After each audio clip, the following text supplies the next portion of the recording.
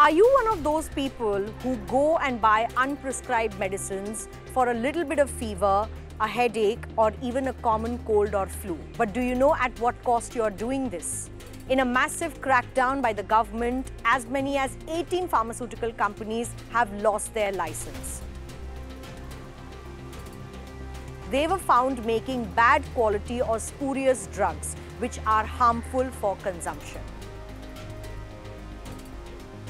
These are medicines that are supposed to be of low quality or bad quality. In fact, medicinal drugs that claim to be authentic but are actually poorly manufactured and contain toxins are termed as spurious drugs. A simple laboratory test can reveal the amount of toxins and impurities in any drug.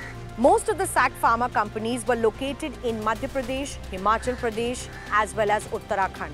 According to the Ministry of Health, the three pharma companies have been blacklisted from manufacturing medicines so far. This investigation is aimed at stopping the production of adulterated drugs and ensuring good manufacturing practices. The centre has also issued show cause notices to as many as 76 pharmaceutical companies in India. Last year, the WHO or the World Health Organization had flagged an Indian pharmaceutical company for making cough syrups that were found to be of bad quality which led led to deaths of many children in an African country where this medicine was being supplied. This crackdown comes after a number of such events that have happened that have led to lowering the standard of medicines that are being produced in the country.